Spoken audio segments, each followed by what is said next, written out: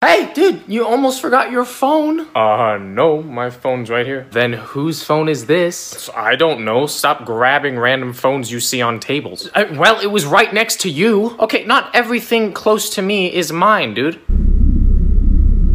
What? Not everything close to me is mine. That's pretty obvious, dude.